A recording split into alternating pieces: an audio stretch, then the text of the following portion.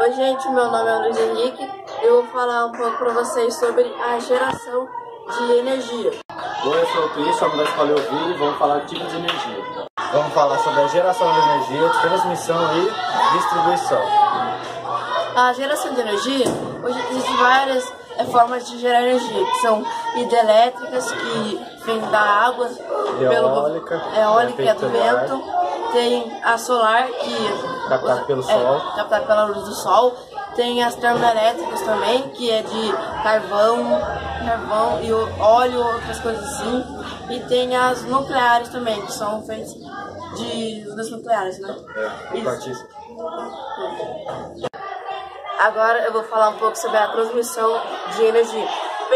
Não sei se vocês já viram, mas quando vocês viajam de carro, assim, tem umas torres grandes, assim. Então, é através delas que vai transmitindo a energia para os fios, assim. Elas são como... Elas, tipo, elas ajudam a transmitir energia, para não ficar fraco nem muito forte. Elas reduzem, mandam um, uma, um tanto bom, assim, sabe? E é esse, agora... Meu nome é Cris, vou falar um pouco da distribuição de energia. Postos de energia que contém muita energia, carregados de energia. E se cair, por exemplo, um brinquedo, uma bola, uma pipa lá dentro, não vá para pegar. Aquilo é muito perigoso, porque aquilo pode conter. Aquilo pode conter energia até nos cabos. Se você coloca a mão, senão você entra com ferro lá dentro, você pode atrair energia para você e se matar até.